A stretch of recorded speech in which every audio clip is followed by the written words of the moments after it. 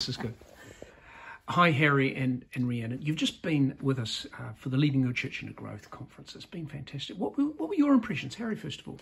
uh, of the conference. Yeah. Uh, it was wonderful to have so many people gathered together, Mm. people who, who were up for it, who were excited, who'd Mm. come with an expectancy that uh, they could change and stuff could happen. Brilliant. Rhiannon? Yeah, I mean, 160 people in the room plus an extra 20 others is a lo- lovely vibe. Um, Very and we good had vibe. some great conversations with people in between, just lots of people thinking really missionally. I love that. um, and people engaging and Yeah. people really wanting to go home and do stuff. Yeah. And that is very exciting for us and for everyone. And, no- and notably as well, the catering was excellent. We had good, very, very good food. Well, the lunches, the morning teas, can be you be more specific? Well, I, think, I think I'm thinking the cakes really, particularly the cakes. cakes. yeah, vanilla slices. Good kiwi kind of- and I'm going to be for you. spiritual. The conversations around the cakes. Ah, of course. That's what I meant. And the worship was great, Yeah. inspiring. Yeah. Uh, Te Reo Māori used.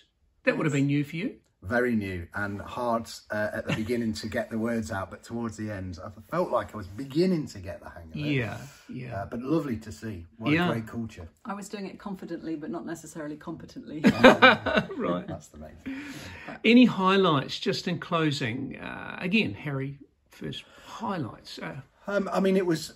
I- I'll be honest. Probably the highlight was the uh, communion service at the end. Ah. You know, the bishop had been there journeying with us and and uh, had been part of the conference, and then he shared some really wise words at the end, and to just gather around the Lord's table at the end to offer in our worship um, the steps that we were going to take and the sense of unity and we're Yeah. culture. We're in this together. We're all doing it in our own particular way. Yeah. but we're not doing it on our own. It was lovely. brilliant. Thank you. Rhiannon, final comment? Actually, one of my highlights was a bit that Harry, we hadn't put in our programme, but you sort of spur of the moment got up and you talked about um, what happens if you've got no children or no youth in your church. Yeah. And you know what you can do about that, and I thought that was particularly inspired, and it really encouraged me, and I think it encouraged lots of people that you can have no one, and it doesn't have to stay like that. Yeah, you know, yeah. you can actually start um, young people's work, children's work.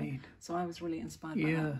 And I was taken by the fact that, you know, you had a can do attitude. You started with the situation, but you had some sort of creative idea to kickstart that.